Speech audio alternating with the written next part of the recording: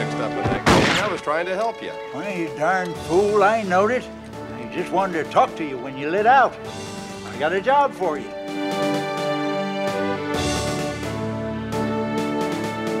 Hey, I've been looking for a fella that can shoot and ride like you for months. Think I'm gonna let you get away? no sirree, bye. Very fine of you to come to our rescue, Mr. Uh... John Weston from Utah. I saw your distress signal from the top of the ridge. I saw the men coming and waved for help. Well, it's a kind of unusual place to expect help, wasn't it?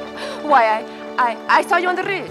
Oh, I see. Now, my idea is for you to trail over there and sign up for the rodeo. I'll come along after and do some private investigating while you work in with the gang. What do you say to that, son? Sounds great to me. The man from Utah will try his luck. Turn him loose. Hey, buddy. Ain't you the young whippersnapper that won most of them events out there today? Oh, I won a prize or two. Since your brawn won't work, I'll use my brain. That bird has put it over on you twice. A fine bunch you are. Yeah? Well, how do you know he won't cross us up?